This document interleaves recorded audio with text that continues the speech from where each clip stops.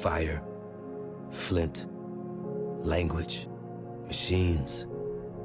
In the face of crises, humanity adapted.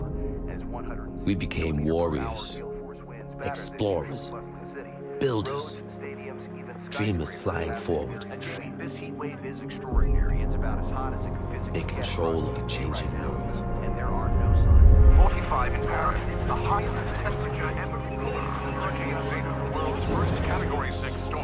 just now Residents are preparing for yet another night without power. Flooding earlier in the week in parts of Italy and France. All concerns will turn to the Baltic. Firestorms began in central Latvia, but different than eight Baltic stations that had Price of fresh water rose again today in the London Stock Exchange, hitting an all-time high. I'm old enough to remember what that world used to be like. We had places we belonged country, community, Rising family. have ravaged 50% of global shipping ports, threatening food supply chains. The population continues to riot in the streets.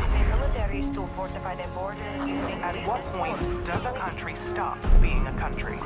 One failed state became a dozen, and now there's millions of refugees headed every direction, except home. 1.2 billion people have been displaced by this shocking chain reaction. We call ourselves No-Pats, the non-patriotic, stateless warriors fighting for our survival. world's non-patriated finally starts using between Russia and the United States Caught between the last two superpowers as they circle each other, fighting for resources, threatening to draw us into a new kind of war.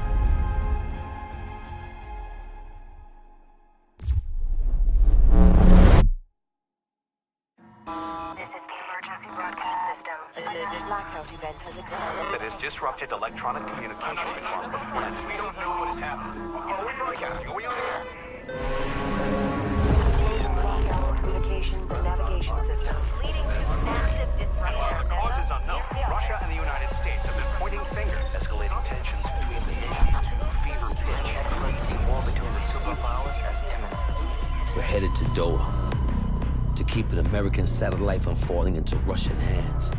And the intel on board is all the excuse either side needs to send us straight to hell. But we faced crises before. The No-Pats were born out of it. We are the warriors. We are the adaptation. And this fight is ours.